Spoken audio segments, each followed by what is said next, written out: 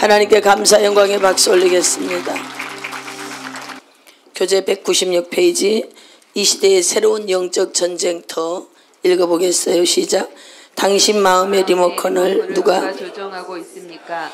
마귀는 우리 마음을 통제해서 에너지를 빼앗간다. 그리고 우리의 삶을 통제한다. 네, 음, 다 읽고 합시다. 다 읽으세요. 네. 마귀는 우리의 사고방식에 심어진 반복적인 부정적 단어를 통해 마음의 버튼을 눌러 부정적인 생각에 사로잡히고 약하게 만든다. 그렇게 해서 우리의 의지와 감정에 접근하고 영향을 준다. 마귀는 우리가 가상의 상황들을 공상하고 만들어서 그것을 현상의 세계에서 하도록 조정한다. 자살, 살인, 사건 등. 우리가 처음 예수님을 믿으면 분별이 안 돼요. 그래서 이제 환란이 왔을 때 뭐로 보이는가 하면 환경이 뒤집어지는 거예요. 예를 들면 부부 싸움을 한다든지 아들이 가출한다든지 뭔가 좀 보여지는 현상들이 있어요. 이것은 2년 안에 예수님을 영접하여서 그래도 2년 안에 일어나는 일들입니다. 그런데 이제 이런 현상이 2년이 지났는데도 계속 많이 반복된다. 가끔 그런 일은 있지만 계속 많이 반복되고 있다. 어, 그러면 그분의 신앙생활이 지금 하나님과 정립이 제대로 안 되어져 가고 있다. 이렇게 보시면 돼요. 이 사람은 여전히 아직 세상과 곁다리를 걸치고 있다든지, 어, 여전히 가방 들고 교회는 오지만 내면 속에 있는 이제 모든 사고방식이나 어, 이 사람이 가진 가치관 이런 것들이 아직 정리가 안 됐다. 이렇게 볼 수 있는 거예요. 그래서 눈에 보이는 그런 환란 뭐 이런 전쟁들은 거의 초년병에게 일어나는 일들입니다. 그런데 우리가 그런 초년병의 시절을 지나서 열심히 그간의 2년의 세월 속에 기도하고 말씀 붙잡고 예배드리고 이런 삶을 해나가면 어느 정도 2, 3년이라는 시간이 지나면서 이런 부분들은 정리가 좀 되고 그때부터 어떤 일이 일어나는가 하면 마음의 전쟁이 일어나기 시작해요. 마음의 전쟁. 왜 마음의 전쟁이냐? 바깥에 일어나는 일들을 영어로 해석하기 시작하는 거예요. 아, 지금 저 사건 너머에 하나님의 손이 있지. 아, 저 사건 너머에 배우의 악한 마귀가 지금 역사하고 있지. 이 부분에 대해서 눈이 열리는 거예요. 그래서 대적을 할 때 눈에 보이는 사건에 대적하지 않고 눈에 보이는 사람에게 대적하지 않고 뭐 하느냐. 그 뒤에 조종하고 있는 그 영을 제압하고 대적하는 거예요. 알아듣습니까? 그래서 사건을 해, 해결해 가는 방식이 완전히 바뀌는 거예요.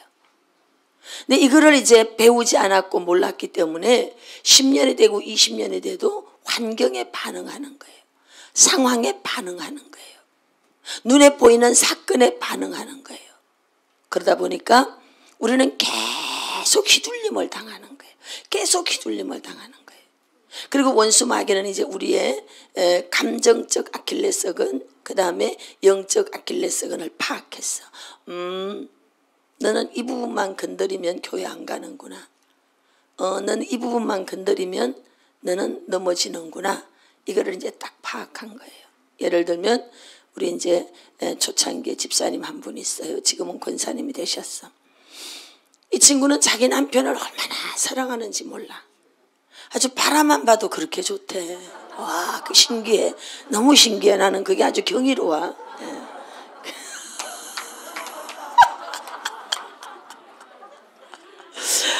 어, 그러는데 남편이 또 이 친구를 또 때려요 또. 어, 그래서 이제 부부 싸움을 해서 탁 때리면 어디로 오느냐 교회로 와. 그래서 막 울고 기도하고 금식하고 막 앙앙대고 막 울어. 그러다가 이제 한 그렇게 보름 정도 어, 기도를 하면요. 신기하리만치 그 남편이 또 이 여자한테 또 잘해줘. 그러면 한 달에서 한 석 달 교회 안 나와. 안 나와. 어, 주일날 그냥 이렇게 설쩍 걸치고 있다. 얼른 집으로 가. 얼른 집으로 가고 그 다음에 이제 어, 석 달쯤 지나면 또 한 대 팍 날라와. 그러면 또 매일 교회 와서 기도해. 이걸 제가 2년을 지켜봤어요. 그 친구를. 그래서 보면서. 그래서 걔는 권사가 됐고 저는 이렇게 목사가 됐어요. 걔도 사명이 있던 친구고 저도 사명이 있는 초년, 우리 모두 같이 똑같이 초년병 시절이야. 똑같이. 야, 너는 결판을 내라, 야. 이쪽을 하든지 저쪽을 하든지 결판을 내. 왜 그렇고 사냐? 그러니까 하는 말이 자기는 남편이 너무 좋대. 그리고 그때는 저도 너무 어렸을 때니까 뭐 그게 뭐다 원리를 설명할 수가 없었어요. 그리고 제 사건 속에 그런 일들이 이제 반복해서 일어날 때 이게 하나의 어떤 기준이 되는 거죠. 저는 그 관찰을 하는 걸 재미있어요. 그래서 제가 어, 특허를 낸 지식 특허를 낸 영성의 삶 일기에는 보면 영적 기상도를 적게 만들어요. 영적 기상도. 나중에 보니까 잔 웨슬레도 영적 기상도를 적었어요. 저는 절대 보고 안 했어요. 제가 기도하는 가운데 제 개인 생활을 대학 노트에 줄을 쳐가면서 체크했던 것들입니다. 그게. 그렇게 하면서 저를 체크해가지고 결국 그걸로 지식 특허를 낸 거예요. 제가 이제 연구를 하는 거죠. 사람들을 관찰하는 걸 저는 엄청 재미있어 하기 때문에. 음, 저 사람이 up down되고, 이게 감정이 up down되고 있구나. 너는 며칠 주기냐. 이 주기가 다 있어. 아, 너는 보름 주기구나. 어, 너는 일주일, 너는 삼일 주기구나. 여러분, 그 사람이 막 기분이 좋다가 기분이 딱 다운되는 주기가 있어요, 이게. 이게 길어지고 가능하면은 이게 기폭이 얕아야 돼, 이게. 그런데 그냥 막 이런 사람도 있는가 하면 잔잔하게. 대체로 훈련이 된 사람은 별로 요동침이 없어요.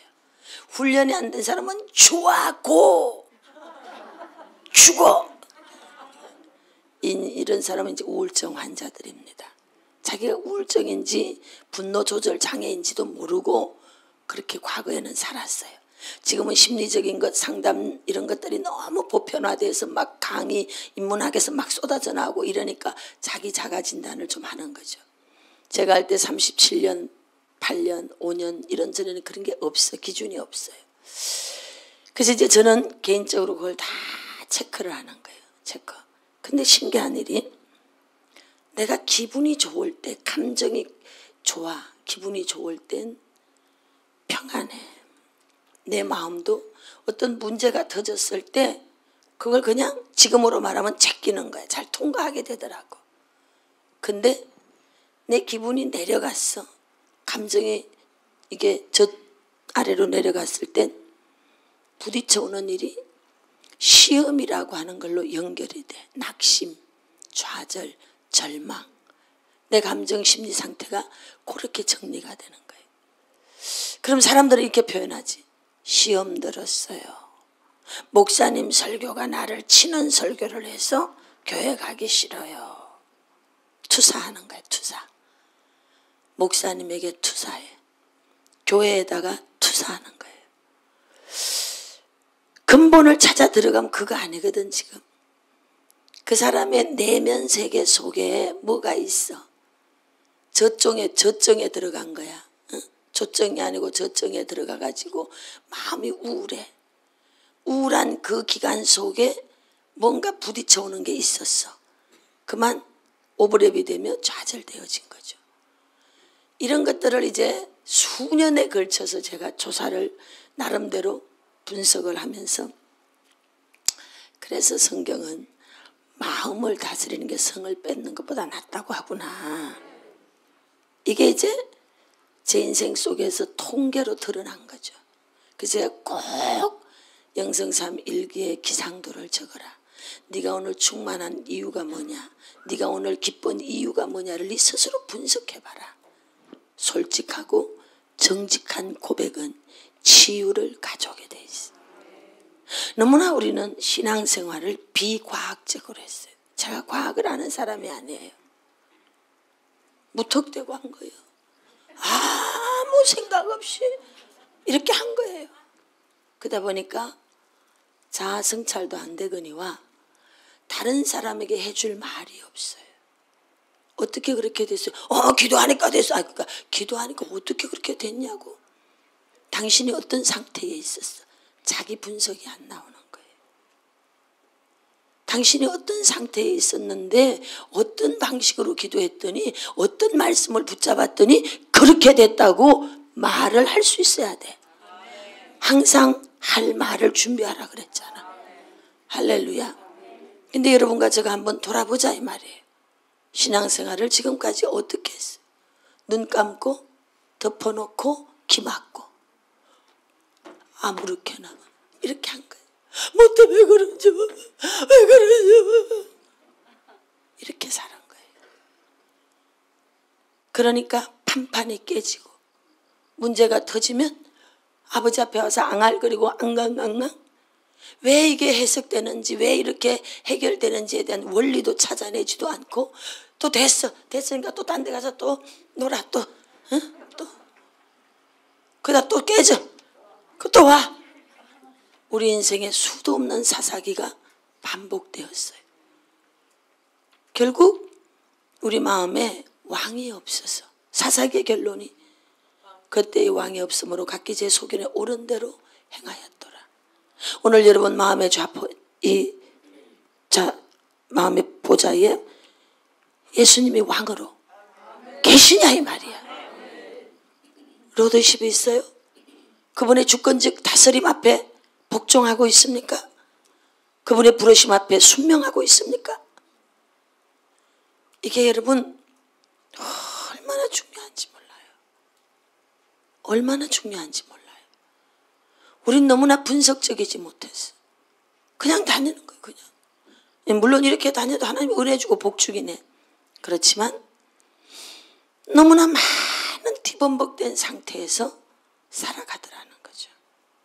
그래서 부족하지만 하나님이 저 같은 꼴통을 하나 일으켜가지고 우리 같은 사람은 아주 호기심이 많은 사람이에요. 어느 정도로 호기심이 많은가 하면 제가 월세로 아 그때는 전세였구나 지하실을 살았어요. 살 때 연탄강을 들어가면 스위치가 하나가 있는데 사람들이 거기를 드나들면서 이 스위치를 끄면 우리 집에서 전기는 다 요 스위치 하나에 연결이 돼 있는 거야. 이걸 끄면 우리 집 스위치가 우리 전기가 다 이게 안 되는 거예요. 연결이 안 돼. 몇 번 하니까 내가 열받겠지. 그래 이제 들어갔잖아. 가서 아 이것 때문에 그러구나. 그래서 망치를 하나 들고 갔어. 톡 튀어나와 있는 거야. 톡 튀어나와 있어. 아 얼마나 단순 단순 무지 무지 안 하면 테이프로 덮으면 되잖아. 딴 사람이 손 못 대게. 근데 제가 열 받은 거예요. 다시는 손을 못 대게 만들어야 되겠다. 그 제 생각에 손을 못 대도록 그 꼭지만 톡 떼내면 될 것 같더라고. 그래서 망치를 가지고 그 꼭지를 톡 뗀다고 그래서 불날 뻔했지 뭐. 그래서 이제 막 합선되고 난리가 난 거예요. 우리 집은 불 다 내려갔고 이제 제가 이제 감당이 안 되는 거야. 그러니까 이제 얘기를 또 주인한테 얘기를 해야 되고 왜 이렇게 했냐고 어쩌고 저쩌고 저쩌고 그 얘기가 된 거지. 또 그렇게 하면서 또 혼자 생각하는 거야. 그 꼭지를 없애야 되는데.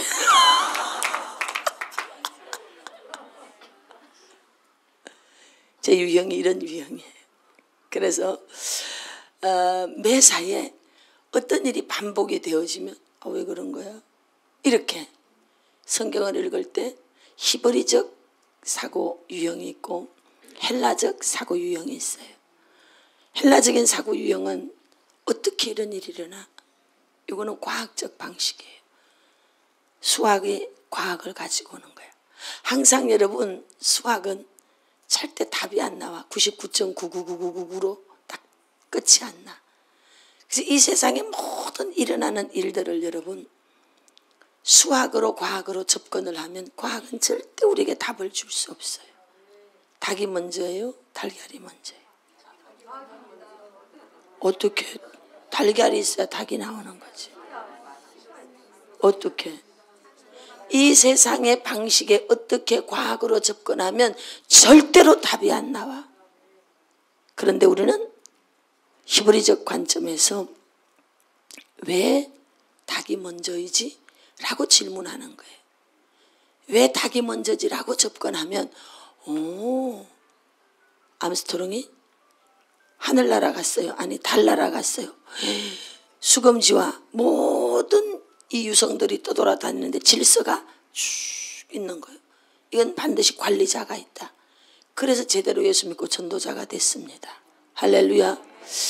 그래서 우리가 하나님 안에서 왜 닭이 먼저야를 고민하면 반드시 누구를 찾게 돼 있는가 하면 창조자를 찾게 돼 있어요. 창조자. 그래서 이 세상에 일어나는 모든 사건과 모든 일들에 대해서 히브리적 관점으로 접근을 해봐야 돼. 내가 왜 오늘 이 일을 겪고 있지? 왜 하나님이 이 일을 내게 허락하셨지? 히브리적 관점으로 나의 문제를 해석하는 거예요. 히브리적 관점으로 내 모든 것들을 적용을 해보는 거예요. 그럼 거기에 틀림없이 하나님이 메시지를 주시는 거예요. 어떻게 내가 이런 일을 겪어야 돼? 이러면 자아 비판이 되고 비관되어져. 자기 환경에 대한 절망이 돼. 결국 자살하게 돼. 운명론을 만나게 돼 있어. 어떻게 내가 이런 일을 겪 이렇게 되면 결국 운명론, 결정론을 만나게 돼 있어요. 그래서 죽어요. 스스로. 자기가 내면의 자아가 죽고 결국은 육신도 자해해서 죽일 수 있는 거예요. 그런데 요셉이 자기 인생을 묵상했죠. 그래서 구속사적 관점, 섭리론적 관점에서 보는 거예요. 이게 히브리적 관점이에요. 내가 왜 감옥에 들어와 있지? 이런 일이 왜 일어났을까? 요셉이 생각하는 거예요. 거기서. 언제 우리는 묵상할 수 있게 되느냐? 고요함 속에 있을 때. 자기 환경에 고요가 있을 때. 그럴 때 우리는 묵상하게 되는 거예요. 그래서 스스로 고립 속에 들어가야 돼, 자꾸. 하나님이 우리를 물리적 방식으로 고립 속에 넣기 전에 내 스스로가 고립 속에 자꾸 들어가야 돼요. 고요한 시간을 가지세요. 침묵의 시간, 고요한 내 마음이 고요해지는 그 시간을 찾아서 아침에 요동치기 전에 아침에 조용 그 고요함에 머물러 있으셔야 돼요. 그리고 천상회의도 그때 하시고 그리고 밤에 모든 일을 끝내고 일상이 정지가 된다 라고 하는 그 시간에 앉아서 하나님 앞에 고람되어 그분 앞에 앉아 있어야 돼요. 주여 말씀하옵소서. 종이 듣겠나이다. 그렇게 앉아 있는 거예요. 그리고 그냥 감사합니다. 내 영혼을 주께 맡깁니다. 기도하라는 게 아니에요. 많은 기도 하루 종일 올렸어. 주 예수 그리스도 하나님의 아들이시여 죄인은 나를 불쌍히 여기소서. 주 예수 그리스도 하나님의 아들이시여 누구 누구를 불쌍히 여기소서. 하루 종일 마음으로 기도를 올렸어. 그리고 예배를 드렸어. 하루 종일. 저녁에 잠자리에 앉아서 고요함에 머물러 있었어요. 그리고 주님 말씀하소서. 내 영혼을 주께 맡기나이다. 오늘 밤 꿈에라도 하실 말씀 있으면 하시옵소서. 자는 거예요. 아침에 일어나면 말씀을 듣는 거예요. 요셉이 하나님이 큰 대사를 요셉에게 맡겨야 돼. 엄청난 대사를 요셉에게 맡겨야 되니까 도저히 제대로 두면 안 돼. 사건을 일으켜. 우리의 돌파를 위해서 사자 울음소리를 내시고 우리의 돌파를 위해서 사건을 만드시는 그 하나님 그분을 찬양하십시오. 그분을 찬양하십시오. 같은 일이 반복되는 속에 있는 것은 나에게 미련함을 회개해야 되는 거예요. 지금 아직 통찰해내지 못하고 있는 거예요. 지금 하나님이 나한테 뭘 말씀하고 싶은 거예요. 그런데 네가 아직도 허상을 쫓아가고 있구나. 그래서 그 같은 일이 계속 반복되고 있는 거죠. 하나님께서 이스라엘 백성을 광야 훈련 계획은 3년이에요. 3년. 그걸 연구하면 그렇게 나옵니다. 3년의 계획 속에 광야를 통과시켜서 가나안에 데리고 가고 싶었어. 근데 이들이 40일 동안 돌고 오더니만은 하는 말이 여전히 내면에 부정적인 게 빠져나가지 않은 거예요. 잘 들어야 돼. 너무 중요한 얘기예요. 인생이 고난받고 어려움 받는 건 간단해. 여러분 안에 있는 부정적인 게 안 빠져나가서 그래요. 그게 안 빠져나가서 비난하고 비관하고 낙심하고 좌절하고 원망하고 불평하고 짜증내고 그게 안 빠져나가서 그런 거예요. 그러니까 하나님이 너희 입에서 한 말을 내가 들었다. 너희가 말한 그대로 하리라. 네 말이 내 귀에 들렸으므로 너희가 말한 그대로 하리라. 하루가 1년이 돼서 40년 동안을 가데스파네아 광야를 돌고 거기 결국은 그, 그들이 그렇게 말한 그들 동조했던 그들 다 죽여버리는 거예요. 다 죽을 때까지 팔짱 끼고 계시는 거예요. 몇 명 남았냐? 다섯 명. 더 대지게 내버려둬라. 이렇게 계시는 거예요. 아우성 치면 물 조금 주시고 아우성 치면 매출하기 좀 주시고 그리고 팔짱 끼고 일 안 하셔. 그분이 일할 능력이 없어요? 그분이 줄 수 있는 힘이 없나요? 모든 게 있어요. 우리의 모습이에요. 하나님 얼마든지 줄 수 있어요. 지금이라도 주실 수 있어요. 못 받는 이유는 아직 안 되어진 게 있어서 그런 거예요. 우리 내면 속에. 그래서 광야에서 하지 말아야 될 일들 중에 원망, 불평, 시기, 질투 하지 말아잖아요. 엄행, 우상, 숭배. 여러분 당연히 하지 말으라는 거예요. 근데 우리는 이런 모든 것들을 여전히 자행하고 있는 거지. 요셉을 보는 거예요. 요셉을 향한 하나님의 놀라운 계획이 있어요. 해달비를 절하게 만드는 그런 자로 불렀어. 하나님은 우리 한 사람 한 사람에게 목적을 두셨어. 목적, 목적, 목적. 하나님은 저와 여러분들에게 뜻을 두고 우리를 불러냈어요. 깨닫습니까? 따라서 나 이래봬도 대단한 사람이다. 아유 목사님 전 한쪽 다리가 잘렸는데 다리 잘린 것도 은혜야. 잘렸어도 감사, 안 잘렸어도 감사, 가난해도 감사, 안 가난해도 감사, 붙어도 감사, 떨어져도 감사. 네 말도 옳고 내 말도 옳아. 아셨습니까? 그래서 우리가 모든 것이 그것이 허락되었을 때는 하나님의 이유가 있겠지. 를 먼저 묵상을 해보는 거예요. 근데 이 묵상은 안 하고 소경이요? 기머거리야. 소경인데다가 듣지도 못하니까 어떻게 살겠어요? 이러다가 죽는 거예요. 오늘 눈이 떠질지어다. 귀가 열릴지어다. 영적 생활에 눈이 열릴지어다. 귀가 열릴지어다. 이게 열려야 돼. 너무나 안타깝지 않냐고. 날마다 그 눈에 보이는 근시안적인 요거 쳐다보고 급급하게 지금 이거. 오늘 하나님이 우리에게 밥을 굶을 수밖에 없는 상황을 줬을 때는 뜻이 뭘까? 이 생각해 보라 이 말이에요. 뜻이? 훈련이라는 기간을 길게 하나님은 두지 않아. 내 백성이 고생하는 것은 여호와의 본심이 아니래요. 근데 그게 길어진 것은 내가 아직 순응하지 못하고 순명하지 못하고 깨닫지 못해서 깨달을 때까지 발장 끼고 보는 거지. 그래서 여호수아서 1장을 보면 내 종 모세가 죽었으니 모세 죽은 거에 얼마나 박수를 치는지. 왜? 모세가 죽어야 여호수아 시대가 열리니까. 모세가 끝날 때까지 팔짱 끼고 기다리는 거예요. 우리 안에 모세가 끝나야 돼. 그래야 여호수아 시대가 펼쳐져. 할렐루야. 하나님이 요셉을 향해서 엄청난 계획을 가지고 있는데 요셉은 지가 이런 일을 왜 겪고 있는지에 대한 아직 해석이 없는 거예요. 해석. 자기 인생에 대해서 해석하십시오. 여러분들이 왜 그 일을 겪어야만 했는지를 말씀에 입각하여 해석하시길 바랍니다. 그래야 교훈을 줄 수 있어. 그래야 메시지를 줄 수 있는 거예요. 몰라요. 내가 왜 이를 겪고 있는지 나도 몰라요. 아무도 당신을 도와줄 수 없어. 왜 그 일을 겪어야만 했는지를 스스로 깨닫지 못하면 아무도 여러분들을 건져낼 수가 없어요. 그것이 깨달아질 수 있도록 기도로 몸부림치고 예배 속에 말씀 앞에 늘 하나님 앞에 엎드려서 몸부림을 쳐보는 거예요. 그러면 우리의 뇌를 열어서라도 밤중의 꿈속 이상 중에 하나님의 뜻을 넣어주시는 줄로 믿습니다.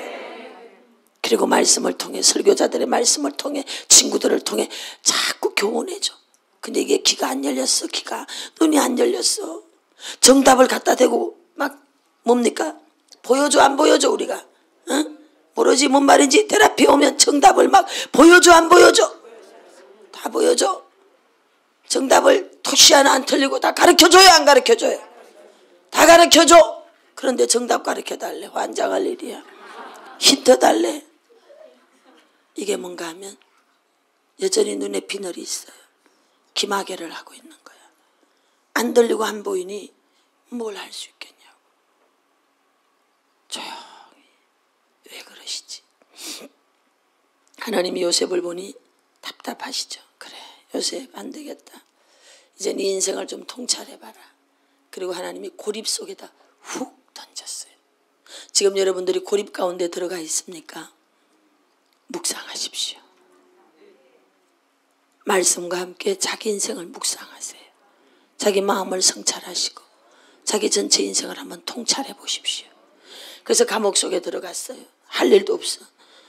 날마다 쓸고 닦고 청소는 하지만 이제 말할 대상도 없고 기가 막힌 거지. 그러다가 문득 생각이 나는 거야. 내가 왜 여기까지 왔지? 맞아.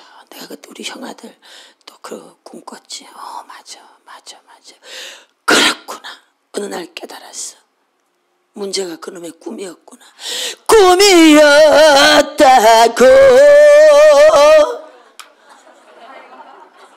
그놈의 꿈이었구나. 그래 꿈이라는 걸 깨닫고 그러면 도대체 그놈의 꿈이 뭐냐? 그래서 또 꿈을 갖고 주네.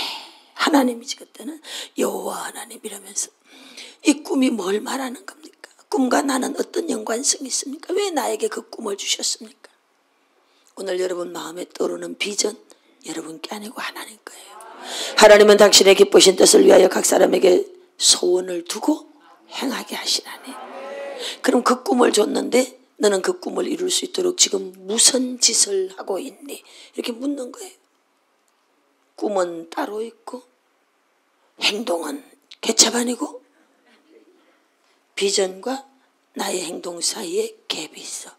하나님이 너는 두드려 맞아야 되겠구나. 그리고 인생의 환란을 뒤집어 버리는 거야. 그래서 뒤집어 그 집사가 두드려 맞아야 교회 오는 것처럼 뒤집어지면 어디로 와? 교회로 와서 기도를 해. 아버지 그 인간이 때려서 아파요 하고 기도를 하는데 처음 출발은 그 인간이로 출발했는데 나중에는 막 샤렘바르디아 상드라비 고레 보레 나이 데스카르와 주여 말씀하시옵소서 종이 듣겠나이다. 가라면 갈 것이요 서라면 설 것입니다. 처음에는 내 문제로 기도했는데 성령에 붙들리면 기도가 바뀌어요 안 바뀌어요? 분명히 그 인간 기도해야 되는데 그 인간은 어디론가 가버리고 아베 비전이 막 계속 들어오는 거야. 내가 너를 열방 가운데 세울 것이고 내가 너를 전 세계 속에 나팔꾼이 되게 하리라. 그럼 막 아베 그리고 정신을 차리면 이게 현실은 여전히 파리가 날리고 있는 거지. 아까 기도할 때는 막 금덩어리 은덩어리가 떨어져서 아멘 그러면은 환경에도 금덩어리 은덩어리가 떨어져 갭이 있어. 이 갭을 연결하는 브릿지가 예배예요 예배. 기도예요. 그러면 그 비전이 내 환경을 덮기 시작해 그리고 하늘의 뜻을 이루도록 그 하늘의 뜻이 내 환경을 덮어나가기 시작해. 그림자가 조금씩 조금씩 그것을 덮어나가는 것처럼 해를 봐봐. 그림자가 점점 커지잖아. 이렇게 덮어나가는 거야. 언제 완성이 되느냐. 내가 깨지면 아버지가 날 통해 뭘 하고 싶어 하는지를 알게 되면 그러면 이상과 현실 사이에 오는 괴리의 폭이 없어져. 늘 예배라는 브릿지 속에서 살다가 보니 하나가 됐어. 내가 하는 일이 주의 뜻을 행하는 것. 그래서 엘리야가 이렇게 기도하지. 열왕기상 18장에서 오늘 내가 이 일을 하는 것이 나로 말미암은 것이 아니고 누구로? 하나님으로부터. 내가 이 일을 하는 것이 하나님으로부터 된 것이라는 것을 할렐루야. 하나님이 내게 허락해서 일을 하는 것이라는 것을 저들이 알게 해달라고. 하나님이 나의 하나님이라는 것을 알게 해달라고 기도하잖아요. 그랬더니 불이 떨어져 버렸어. 오늘 여러분과 제가 이 땅에 태어난 것은 하늘의 사명을 이루기 위해서 이 땅에 태어난 거예요. 개같이 살다가 그렇게 인생 마감하라고 보낸 게 아니더라고요. 모두 모두에게는 송정미 시인이 똑바로 걷고 싶어. 그런데 여러분 그렇게 했기 때문에 수많은 영혼들에게 감화와 감동을 주고 울림이 있잖아 울림. 그래서 그 순간 그의 시를 읽을 때 그 순간만큼이라도 우리의 마음에 주님을 생각할 수 있게 되잖아. 그는 그 소리를 외치기 위해서 하나님이 그렇게 병을 준 거야. 이렇게 받아들이면 되는 거예요. 나는 왜 이렇게 살아야 돼요? 그 답 없어. 어떻게 나한테 이렇게 해요? 답 없어. 그거 절대 답 없어. 네 인생 비관하고 비판하다 인생 끝나는 거야. 그런데 무슨 뜻이 있지? 하나님 나한테 뭘 받으시려고 그러지? 드디어 요셉이 그 감옥에서 다 깨닫는 거지. 아, 그 꿈이었구나. 그럼 이제 이 꿈을 주신 분이 하나님이 해몽도 그분이 하시지. 그래서 대답을 하잖아. 그 꿈의 해몽은 여호와께 있나이다. 자기가 알고 있기 때문에 그 말 하는 거지 모르면 절대 그 말 안 해. 체험이 되어진 거예요. 아, 꿈의 해몽이 하나님께 있구나. 그래서 답을 딱 꿈의 몽에 어마어마한 은사를 받은 거예요. 고통 가운데 몸부림칠 때 그 시대에 맞는 은사를 부어주시는 거예요. 아멘. 그 시대에 맞는 은사를 주는 거예요. 오늘 이 자리에 있는 저와 여러분 그 시대에 맞는 은사를 받으세요. 아멘. 그래서 요셉이 이제 딱 은사를 금어진 거야. 그리고 실력을 딱 손에 쥐었어. 그랬더니 내가 준비되니까 하나님이 또 나를 위해 사건을 일으켜. 왕궁에서 암살, 왕을 죽이고자 하는 모의가 일어났고 시도를 해. 그래서 둘이 감옥에 잡혀온 거야. 그래서 요셉이 꿈이 다 해몽되어졌을 때 그들이 너무 놀랍지 않아요? 내가 준비가 돼야 나를 도울 자가 딱 오는 거야. 내가 준비가 안 됐을 때 술 맡은 장관, 꿈 맡은 장관 와봤자 소용없어. 소용 있어요, 없어요? 아무런 의미가 없어. 그런데 내가 꿈의 몽할 줄 아는 자가 되니 그 말이 들려. 꿈 얘기를 하잖아. 꿈의 해몽은 누구께 있어? 여호와께. 자기가 하나님 만난 거야. 하나님 만난 체험이 있어. 자기가 자기 인생이 해석된 거예요. 통찰이 되고 성찰이 된 거예요. 그리고 그들의 꿈 얘기를 들어보니까 이건 뭐 식은 죽 먹기야. 할렐루야! 자기 인생이 통찰되고 성찰되면요. 하나님이 세계를 맡기는 걸 믿었어요. 아멘. 최고의 영성 교과서는 내 마음, 나의 삶이야, 삶. 이게 최고의 영성 교과서야. 그것을 살아내는데 교보는 성경, 기도, 예배, 전도 이런 걸 통해서 살아내는 거예요. 그러면 나중에 딱 자기만의 교본을 가지게 돼. 그래서 나처럼 가르치는 거지. 아멘. 요셉이 그걸 쫙 풀어냈습니다. 드디어 요셉이 완전 엘리베이터 타고 할렐루야. 이건 낙하산이 아니여 지하에서 올라갔기 때문에 엘리베이터 탁 타고 짠짜잔 초고속 엘리베이터 샥 순식간에 올라가 버렸어. 어디까지? 총리 대신까지. 여러분과 제가 고난받을 때 실력이 준비돼야 돼요. 그가 행정력이 준비가 안 됐다면 그 자리에 가도 쌀가마 몇 개 얻어서 끝나. 그런데 어찌해야 되겠니? 5분의 1씩 저축해야 됩니다. 행정력이 딱 나오잖아. 아멘. 이 행정력이 딱 나오고 나니까 바로가 옳다. 네가 다 해라. 네가 다 해라. 난 네 위에 그냥 허수아비처럼 의자만 하고 이렇게 앉아 있을게. 허수아비지 왜? 결제권을 다 요셉에게 줘버렸어. 인장반지 결제권이야. 이 결제권을 요셉에게 다 줘버렸어. 모든 통치권이 요셉에게로 왔어. 여기서 중요한 포인트. 요셉이 감옥에서 있을 때 그 인간들이 나를 죽이려고 하면은 이렇게 인상이 이렇게 되는 거야. 재수가 두 명이 있어요. 한 사람은 감옥에서 날마다 하늘을 보고 시를 썼어. 이 사람은 그 수감 생활이 끝나고 시인이 됐어. 실제 얘기입니다. 그런데 한 사람은 땅만 쳐다보고 그 새끼를 죽이고 들어왔어야 되는데 결국은 여러분 죄수야. 또다시 죄를 짓고 그렇게 된 거예요. 우리가 다 무엇을 바라보고 살아가느냐, 어떻게 살아가느냐가 다음 내 인생을 열고 가는 걸 믿으세요. 제가 오늘 문을 다 열으라고 그랬어요. 여기가 여러분 아침에 피톤치드 엄청 막 여기 들어와요. 공기가 너무 맑아요.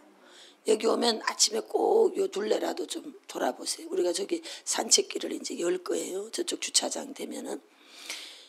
그래서 문을 다 열고 이렇게 공기가 좀 들어오도록 우리가 여기가 어, 사람이 많기 때문에 그죠? 너무 공기가 좋아서 피곤하지가 않아요 사실 여기서 자고 나면은 만약에 제가 일주일간 이렇게 뛰는데 도시에서 했다 번아웃 되죠. 근데 오살리도 공기가 좋고 여기도 공기가 좋으니까 공기 좋은 데 있으니까 별로 안 피곤한 거예요. 그래서 이렇게 펄펄 뛰면서 가는 거지. 아멘. 어려운 무명 삼류 시절을 깨끗하게 잘 지내야 돼. 스타들 봐봐. 무명 시절을 지저분하게 보내내는 스타로 떴는데 한 달 만에 가라앉아. 왜? 어떤 놈이 나타나잖아. 누드 사진. 이런 거 나타나잖아. 그래 안 되는 거예요.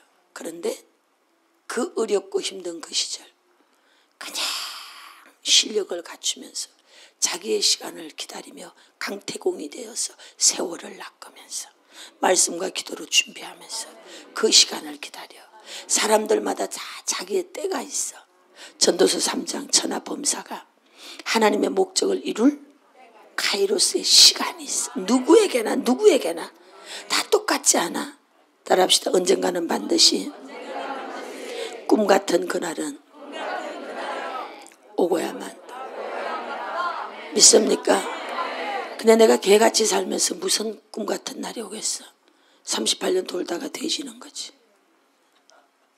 여러분과 제가 뜻을 가졌으면 쳐서 복종시키는 거야. 성품도 다듬고. 요셉이 그 감옥에서 그 새끼들 이랬다면 틀림없이 인상이 범죄형 인상이 됐을 거예요. 제가 경제사범입니다. 그래서 제가 유치장에 딱 24시간 감옥에 들어가서 재수복을 입고 딱 그 번호가 있어 재수 번호 이름 안 불러 몇 번 딱 제가 경제사범입니다. 그래서 재수 번호 몇 번 해서 딱또그 사진을 찍어야 돼. 그래서 재수번호 사진 찍었어. 그 안에는 여러분 핀도 못 갖고 들어가고 왜냐면 자살할까봐 거울 이런 거 일절 못 갖고 들어가. 딱 24시간 벽에 기대서도 못 앉아. 딱 그냥 앉아야 돼. 벽에 기댈 수 있는 것만 해도 얼마나 땡큐인데 누워있지도 못해. 딱 화장실도 그 안에 있어. 사람들 쳐다봐도 거기서 볼일 봐야 돼. 기가 막힌 인생이야. 제가 이래도 큰일 할 조건은 다 갖췄어. 큰일 하는 사람은 감옥에도 가야지. 병원에도 가야지. 경찰서도 가야지. 제가 세 군데 다 갔다 온 사람이야. 그런데 그래서 제가 깨달았어요. 딱 제가 재수형이더라고. 관상이. 야 이렇게 바뀔 수 있구나. 그리고 지금 요새 어서 오세요. 이거는 은혜형이잖아. 할렐루야. 환경에 따라 인상이 바뀌는 거예요. 내 마음이 어떤 마음으로 살아가는 거에 따라 관상이 바뀌는 거예요. 요셉이 그 쉐키가 이랬으면 이러고 가서 그래 어떻게 꿈을 해몽하는 실력은 갖췄을지 모르지만 왕 앞에서 그걸 어떻게 돼? 그것은 이래야 됩니다. 딱 보면 어, 너는 사기꾼이구나. 이러고 여러분 신뢰를 못 받기 때문에 버림받습니다.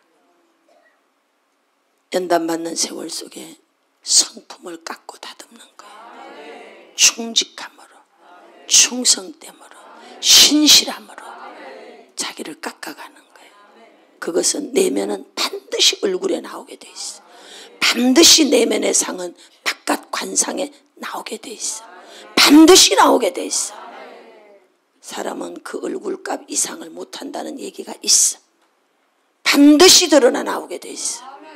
잘 아시길 바랍니다.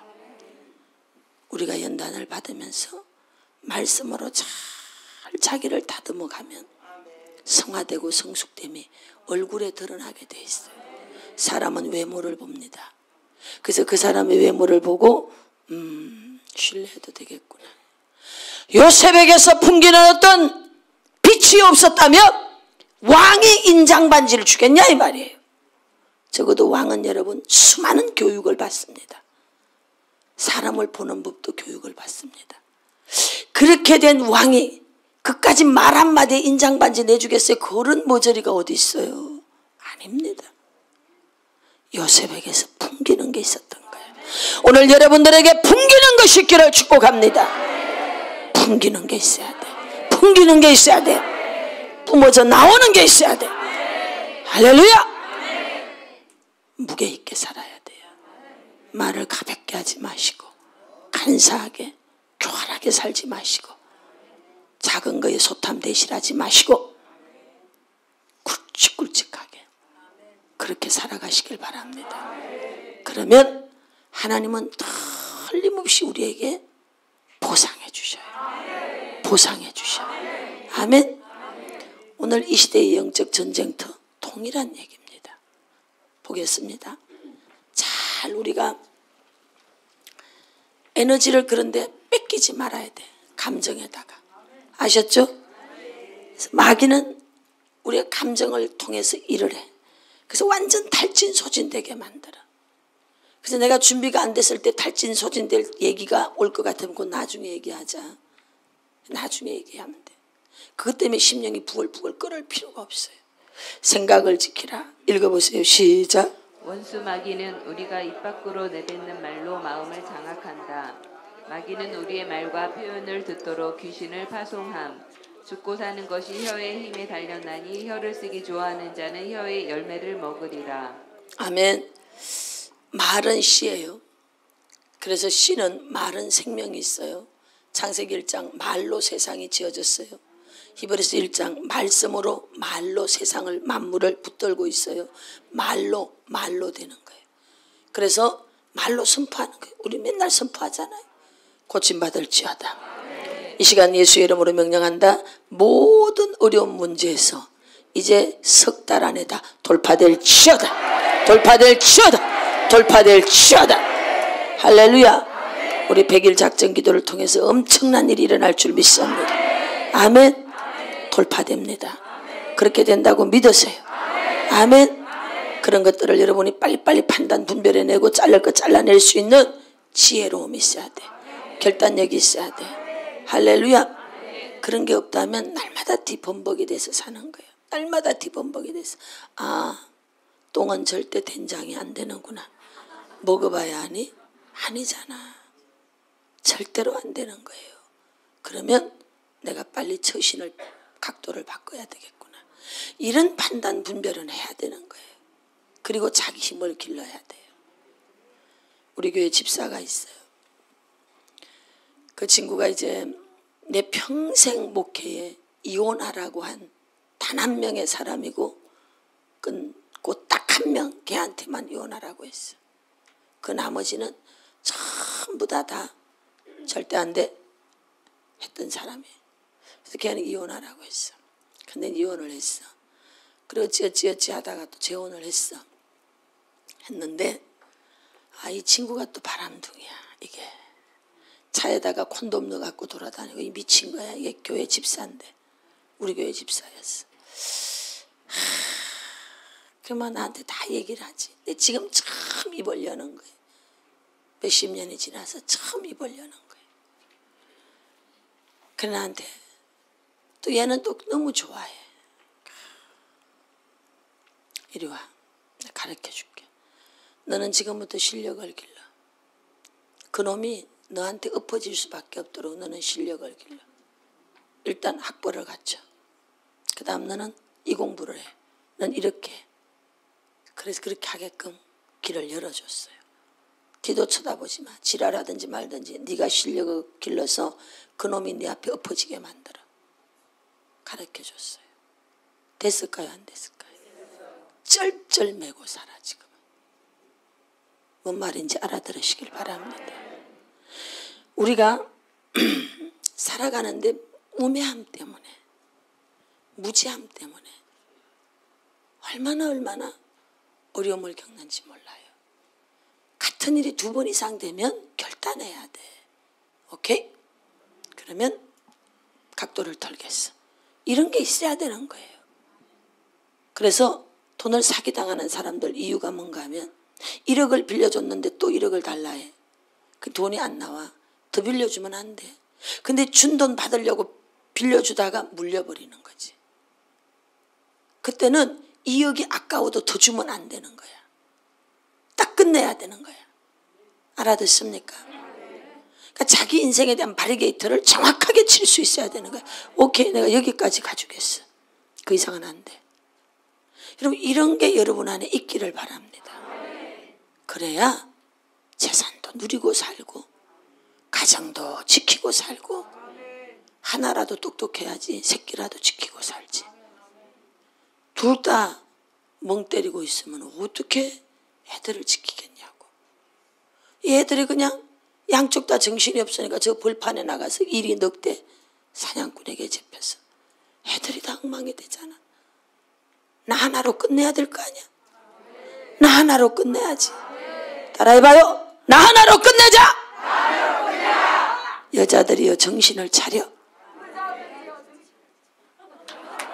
남편들이 개지랄하고 돌아다니며 여자들은 울타리를 딱 지켜.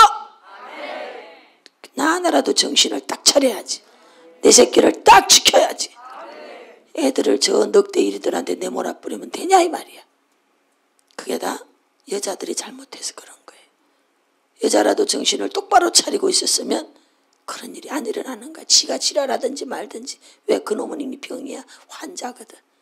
그 환자는 냅둬버려야 돼. 병 들어서 지랄하니까. 그 우리는 어떻게 해야 돼? 그냥 하나님 앞에 기도하고 그냥 시간을 기다려야 돼. 병 들어서 지칠 때까지 냅둬버리고 잘 안 바뀌어. 내가 톡 깨놓고 얘기할게. 잘 안 바뀌어. 잘 안 바뀌어. 목사라서 그래요. 기도하면 희망이 있어 말하지만 잘 안 바뀌어. 잘 안 바뀌어. 잘 안 바뀌어. 그런데 기도하는 내가 바뀌지. 맞아요. 틀려요. 그놈은 안 바뀌는데 기도하는 나는 바뀌어. 아멘. 그래서 기도하는 내가 기도하다 능력 받아서 목사 되는 거야. 할렐루야! 아멘! 그런 거예요. 그게 쳐다보고 그렇게 살지 마. 주님 쳐다보고 예수 신랑 쳐다보고 그러고 살아. 그러면은 그 인생에 햇살이 들어오기 시작해. 아멘. 지혜가 있어야 돼. 몇 번 딱딱해 보면 희망 없음. 딱 나와야지. 이 답이 나와야 되는 거예요. 울지 마! 울지 마. 그런 거 갖고 뭘 징징거려? 답을 내! 답을 딱 내! 그리고 이빨을 딱 물어! 10년만 참아. 그러면 그 인간이 무릎 꿇게 돼 있어. 밥 먹여달라 그래. 그럼 그때는 밥 먹여줘. 맞아요. 틀려요. 맞아, 맞아. 맞다니까. 딱 이빨 물고 돈을 모아. 그리고 딱 자식들을 잘 키워. 그러면 코가 들어온다니까. 그때부터는 물 떠오세요. 그리고 큰 소리 치면서 사는 거야. 할렐루야! 내가 공방살이요, 공방살. 내가 역마살이요, 역마살. 세상 말로 하면 팔자 더럽게 세가지고 이놈한테 치고 저놈한테 치다 인생 끝날 인생이요. 그런데 예수님 탁 붙잡고 미친 듯이 기도했더니 할렐루야 호령하고 살잖아.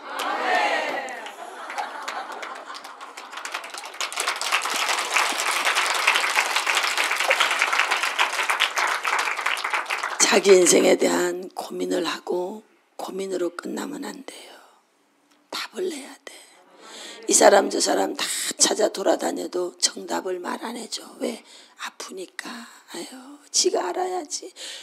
돌아가면 참 언제 깨달을래나. 지가 알아야지. 이러고 말 못해줘. 말해줄 수 있어? 못해줘, 못해줘. 까놓고 솔직한 말 못해준다니까. 그럴 때 말해주면 미움받아. 그러니까 못해준다니까, 못해준다니까! 목사인 나도 못해준단 말이야! 네가 알아서 정신을 차려! 울지 마!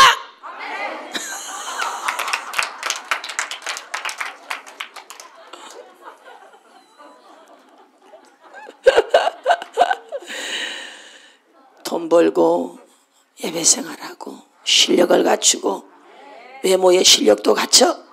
그놈이 돌아보 어휴, 퍼지게 있지 말고 밥도 좀 덜 먹고.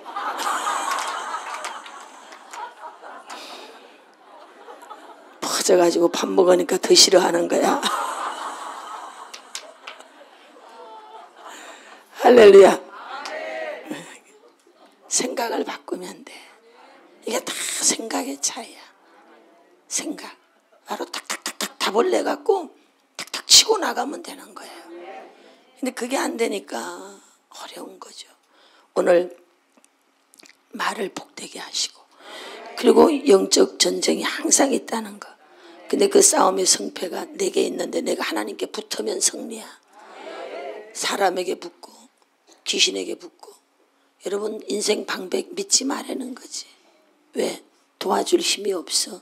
그들의 호흡은 코에 있어, 코에. 숨 끊어지면 끝나는 거예요. 하나님만 믿으십시오. 마귀는 우리의 마음을 통제합니다. 그래서 우리 마음이 막 힘들 때 걔들은 에너지를 가져가.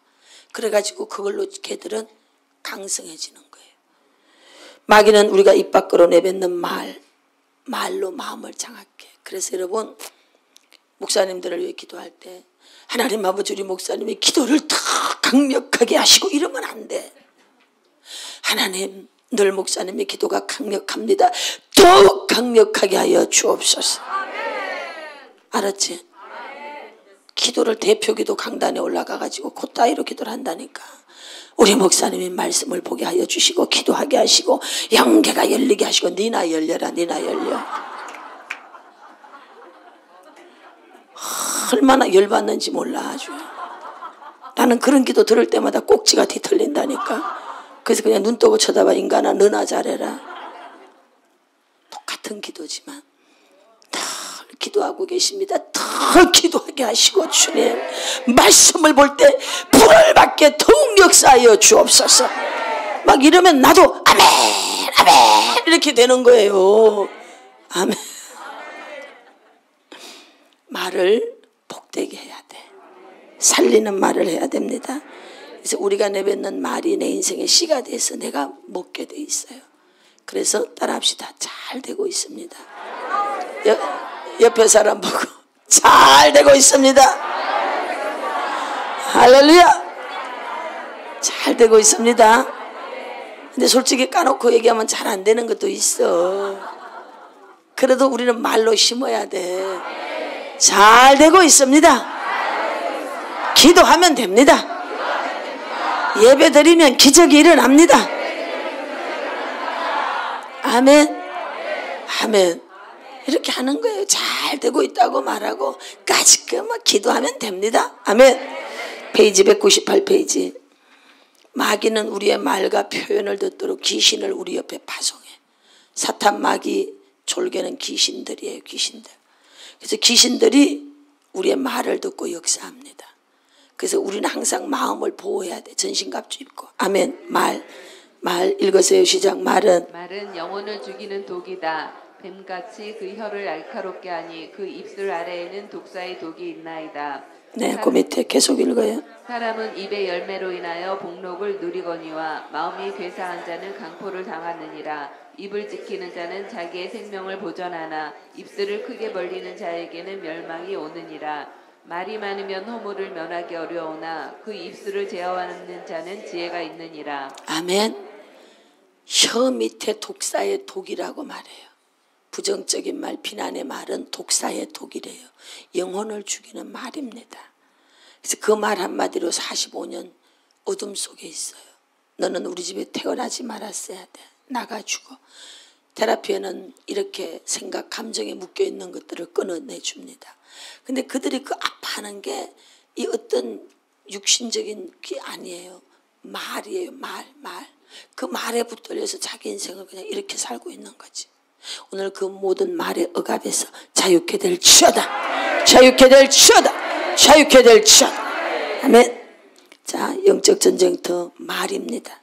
그래서 말을 골라서 잘 하시고 세 번째 태도입니다. 태도 속에서 밑으로 쭉 내려오면 곡식을 내놓지 아니하는 자는 백성에게 저주를 받을 것이나 파는 자는 그의 머리에 뭐가 이 말이라 어려운 기근이 왔어 태도입니다. 내 혼자 잘 먹고 잘 살아야지. 그럼 지도 못 먹고 결국 죽어. 그런데 같이 삽시다 하고 극률미를 내놓으면 존경을 받고 같이 살게 돼 있어. 태도입니다. 태도. 우리가 태도가 영적 전쟁터라는 걸 아십시오. 200페이지 새로운 전쟁터 승리 방법. 사도행전 28장 3절에서 5절 읽어봐요. 시작. 바울이 나무 한 묶음을 거두어 불에 넣으니 뜨거움으로 말미암아 독사가 나와 그 손을 물고 있는지라 원주민들이 이 짐승이 그 손에 매달려 있음을 보고 서로 말하되 진실로 이 사람은 살인자로다 바다에서는 구조를 받았으나 공의가 그를 살지 못하게 함이로다 하더니 바울이 그 짐승을 불에 떨어버리매 조금도 상함이 없더라 아멘. 유라굴라 태풍을 만났어요. 그래서 어, 이제 멜리테스에 도착합니다. 겨우 하나님의 인도함 속에서 이제 목숨만 부지했어요. 근데 그게 이제 원주민들이 있습니다. 불쌍하니까 어, 이들을 이제 보호해 주는 거죠. 그래서 추우니까 불을 뗐어요. 불을 떼니까 동면하고 있던 독사가 나와가지고 바울의 어, 손을 물었어요. 그래 이제 원주민들이 생각해 저는 역시 죄인이구나 바다에서는 살았는지 모르지만 역시 저의 죄 때문에 하늘이 저를 살려두지 않는구나 하고 딱 판단하고 보고 있는데 바울은 아무렇지도 않은 듯이 뭐예요? 떨어버렸는데 어디에? 불에 떨어버리매 어디에? 불에 떨어버렸어. 그랬더니 이제 좀 있으면 죽겠지? 안 죽는 거야. 아, 원주민들이 신이구나. 그래서 마침 그때 보볼리오 주장 아버지가 열병이 걸렸죠. 바로 그 옆에서. 저는 신이니까 초청을 합니다. 우리 아버지를 좀 고쳐주시오. 신유 은사가 나타나죠. 그래서 보볼리오 주장 아버지를 고쳤어요. 그랬더니 원주민들이 나도 아파요, 너도 아파요. 신유 은사가 활성화되었어요. 그래서 그 신유 사역을 펼쳤더니 이들이 먹을 것을 막 가지고 오고 후한 예 돈도 가지고 와. 그 강 바다를 겨울이 지나고 또 그곳에 로마까지 갈 수 있도록 물질을 주는 거예요. 그래서 그 물질을 받아서 넉넉함으로 로마까지 가게 됐어. 이게 본문이에요. 적용해 드리겠어요. 여러분, 우리의 삶 속에 독사의 독 같은 말의 상처가 오게 돼 있어요. 올 때 이 말의 상처를 통과하고 이기는 방법이 뭔가 하면 성령 충만 받아야 돼요. 성령 충만 받지 않으면 못 이겨요. 충만을 받고 어떻게 해야 되느냐? 오른손 제껴버려. 떨어버려. 툭 쳐버려. 아셨죠? 그래서 저는 떨어버렸어요. 저는 제껴버렸어요. 그리고 그까지 거 통과시켜버렸어요. 사도 바울이 통과시켰어요. 그랬더니 사역의 길이 열리는 거예요. 내가 내 상처에 불려 있었더라, 붙들려 있었더라면 제게는 사역의 길이 안 열렸어요. 왜? 나도 슬픈 얼굴, 상처의 불화살을 맞은 그런 표정과 인상을 하고 이렇게 살았을 거예요. 그러면 누가 저에게 와서 도움을 요청하겠어요? 왜? 여기 들어올 때 그런 그런 온갖 불화살을 다 맞았거든. 등에 다 꽂혀 있었거든. 근데 그 등에 꽂혀 있었던 그걸 그대로 해서 내가 질식해서 죽었다면 여러분 저는 누구도 돕지 못하는 거예요. 그걸 다 뽑아내 버렸어. 다 제끼고 다 뽑아내 버렸어. 그랬더니 영혼을 살리는 자로 일어난 줄로 믿습니다. 할렐루야. 이처럼 바울이 그 상처를 털어냈다고 적용하는 거죠. 그랬더니 사역이 활짝 열렸어요. 그래서 그 사역이 열려서 맡겨진 직무에 충실했어. 어제 돌, 독화살을 쏴댄 그 인간은 잊어버리고 떨어버리고 제껴버리고 오늘 내 앞에 다가온 하루 나우엔 휘어 여기서 지금 내게 주어진 사역에 최선을 다해서 충실하게 매일매일을 살아냈어요. 그랬더니 사역이 확장됐어요. 전 세계로 퍼져나갔어요. 그랬더니 후한 예로 갚아주는 거야. 아멘.